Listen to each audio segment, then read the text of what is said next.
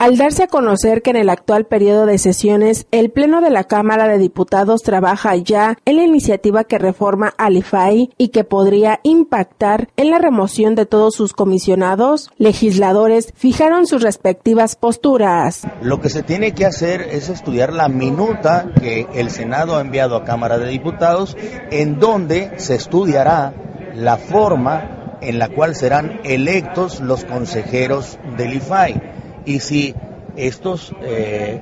eh, vienen en estos vienen incluidos los que actualmente se encuentran en funciones y más los nuevos que ha dispuesto la reforma constitucional. Nosotros no vamos a acompañar esa posición, nos queda muy claro que en el asunto del IFAI lo que menos se necesita hoy eh, es precisamente hacer un instituto al contentillo del nuevo gobierno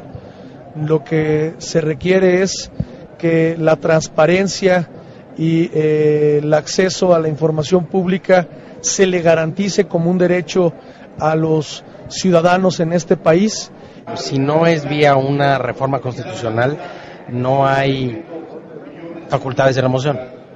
Y, digo reforma constitucional porque se crea un nuevo organismo constitucional donde se establezcan nuevos plazos, nuevas formas de designación o de elección de los comisionados, se pudiera dar la posibilidad y creo que sería difícil que procediera el amparo en caso que uno de los actores comisionados buscara que sus garantías fueran protegidas por la ley, por, por la justicia federal. Lo que hemos planteado es la necesidad de, bueno, de estudiar la minuta que tenemos aquí para la autonomía del IFAI. Se tienen que nombrar dos nuevos comisionados y explorando la, el, el, transitorio que permitiría en todo caso a la Cámara de Senadores ratificar a los otros cinco. Este, y sobre esa base pues, se van a tomar las determinaciones que tenga que tomar. Rausanelli para Noticieros Nuestra Visión.